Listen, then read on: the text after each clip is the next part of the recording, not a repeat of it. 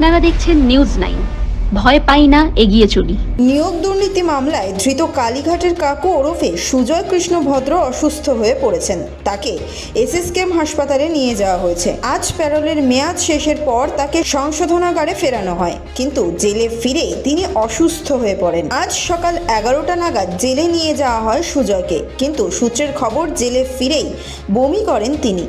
এছাড়া তার বুকে ব্যথার সমস্যা রয়েছে। সংশোধনাগারের চিকিৎসক প্রাথমিকভাবে সুজয়ের স্বাস্থ্য পরীক্ষা করেন।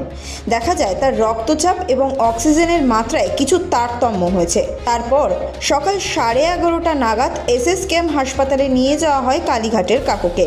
হাসপাতাল সূত্রে জানা গিয়েছে, আপাতত সুজয়কে পর্যবেক্ষণে রেখেছেন চিকিৎসকেরা। তার ইসিজি করার পরামর্শ দেওয়া হয়েছে। আগামী শুক্রবার একুশে জুলাই তৃণমূলের শহীদ দিবসের সমাবেশ। তার আগে সেই সমাবেশের প্রচার শুরু হয়েছে রাজ্য জুড়ে। সেই প্রচারের জন্য অবশ্য বেশ কিছু কড়া বিধিনিষেধ আরোপ করেছে তৃণমূলের রাজ্য নেতৃত্ব। এমনই এক নির্দেশে বলা হয়েছে, শহীদ দিবসের কর্মসূচির হোর্ডিং ব্যানারে তৃণমূল নেত্রী মমতা বন্দ্যোপাধ্যায় ও দলের সর্বভারতীয় সাধারণ সম্পাদক অভিষেক বন্দ্যোপাধ্যায়ের ছবি ছাড়া আর কারোর ছবি ব্যবহার করা যাবে না।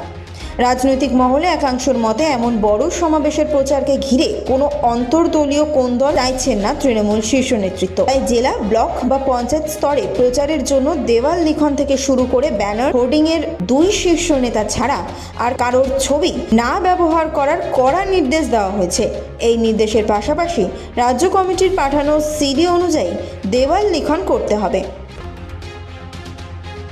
বিচারপতিকে নিয়ে অভিষেক বন্দ্যোপাধ্যায়ের মন্তব্য নিয়ে আজ কলকাতা হাইকোর্টের দৃষ্টি আকর্ষণ করলেন আইনজীবী বিকাশ রঞ্জন ভট্টাচার্য। তৃণমূল সাংসদের নাম না করে প্রধান বিচারপতি নিয়ে শিবগানাম এবং বিচারপতি হিরণময় ভট্টাচার্যের ডিভিশন বেঞ্চের দৃষ্টি আকর্ষণ করেছেন তিনি। এই প্রেক্ষিতে লিখিত অভিযোগ জানাতে বলেছেন প্রধান বিচারপতি। আদালতে বিকাশ রঞ্জন বলেন, আদালতে গরিমা নিয়ে একটি বিষয়ে দৃষ্টি আকর্ষণ করতে চাইছি। একজন ভদ্রলোক একজন নির্দিষ্ট বিচারপতির নির্দেশ নিয়ে অভিযোগ করেছেন। হাইকোর্ট সমাজ বিরোধীদের রক্ষা কবচ দিচ্ছে। সমাজ বিরোধীরা যাতে অবাধে ঘুরে বেড়াতে পারে, সেই ব্যবস্থা করছে। আজ দুপুর কলকাতা বিমানবন্দর থেকে বেঙ্গালুরুর উদ্দেশ্যে রওনা হয়েছিলেন মুখ্যমন্ত্রী মমতা বন্দ্যোপাধ্যায়। সেখানে বিরোধী জোটের বৈঠকে যোগ দিতে চলেছিলেন তিনি। সঙ্গে ছিলেন তৃণমূলের সর্বভারতীয় সাধারণ সম্পাদক অভিষেক বন্দ্যোপাধ্যায়। গত তেইশে জুন পাটনায় বৈঠকে বসেছিল বিরোধী শিবির। সেই বৈঠকে পনেরোটি দল যোগ দিয়েছিল। কংগ্রেস সূত্রের খবর, সোম এবং মঙ্গলবার বেঙ্গালুরুতে বিরোধী শিবিরের যে দ্বিতীয় বৈঠক হতে চলেছে, সেখানেই যোগ দিতে চলেছে ছাব্বিশটি বিরোধী দল। মঙ্গলবার রয়েছে মূল বৈঠক। আর আগে সোমবারও একবার প্রাথমিক আলোচনায় বসতে চলেছে বিরোধী নেতানেত্রীরা। তারপর রাতে নৌশভোজের আয়োজন করেছে কংগ্রেসের প্রাক্তন সভানেত্রী সোনিয়া গান্ধী। তৃণমূল সূত্রের খবর, আজ বিরোধীদের প্রাথমিক আলোচনায় মমতা যোগ দিলেও সোনিয়ার ডাকা নৌশভোজে থাকতে পারবেন না তিনি। পায়ের সদ্য অস্ত্রোপচারের কারণে তার পক্ষে বেশি চলাফেরা করা সম্ভব নয়। সেখানে সম্ভবত থাকতে পারেন অভিষেক। পাঁচ মাসের মধ্যে বাংলায় মুখ্যমন্ত্রী মমতা বন্দ্যোপাধ্যায়ের সরকার পড়ে যাবে। বিজেপির কেন্দ্রীয় মন্ত্রী তথা মতুয়া গোষ্ঠীর নেতা শান্তনু ঠাকুরের এই মন্তব্যকে সমর্থন করেছিলেন রাজ্য বিজেপির সভাপতি সুকান্ত মজুমদার। কিন্তু সেই মন্তব্যের সঙ্গে একমত হলেন না বিজেপির সর্বভারতীয় সহসভাপতি দিলীপ ঘোষ।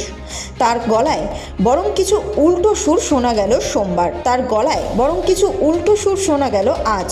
তিনি স্পষ্টই জানিয়ে দিলেন, মানুষের জনমতে তৈরি হওয়া কোনো সরকার ভেঙে দেওয়াকে আসলে তিনি গণতন্ত্র বিরোধী বলেই মনে করেন।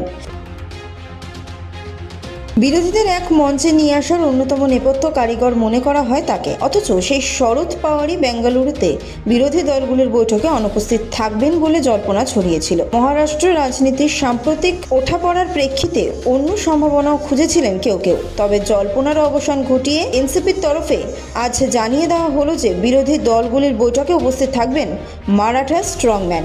তবে আজ বৈঠকের প্রথম দিন নয়, মঙ্গলবার বৈঠকের দ্বিতীয় দিন। বেঙ্গালুরুই পৌঁছাবেন তিনি। নিজের নির্বাচনী কেন্দ্র ভাঙড়ে যেতে তাকে বাধা দেওয়া হচ্ছে। এই অভিযোগ জানিয়ে আজ কলকাতা হাইকোর্টের দ্বারস্থ হলেন আইএসএফ বিধায়ক নওসাদ সিদ্দিকী। ভাঙড়ের বিধায়কের প্রশ্ন, কেন বারবার পুলিশ বাধা দিচ্ছে? একশো চুয়াল্লিশ ধারা জারি থাকার কথা বলা হচ্ছে শুধু। মামলার দায়ের করার অনুমতি দিয়েছেন বিচারপতি জয় সেনগুপ্ত। চলতি সপ্তাহে শুনানির সম্ভাবনা।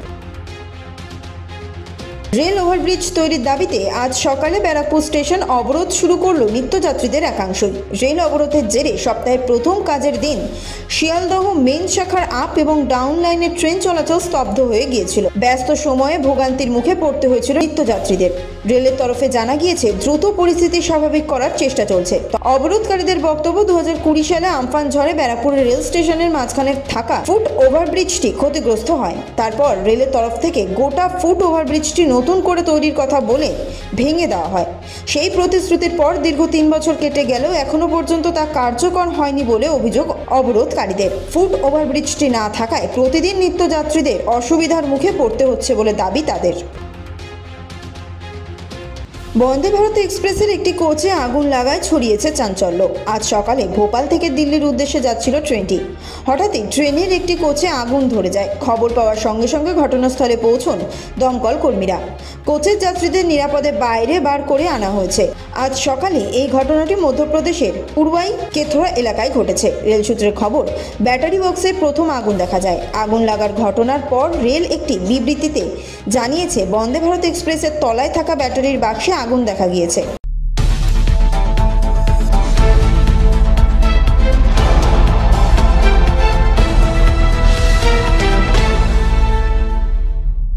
আপনারা দেখছেন নিউজ নাইন ভয় পাই না এগিয়ে চলি।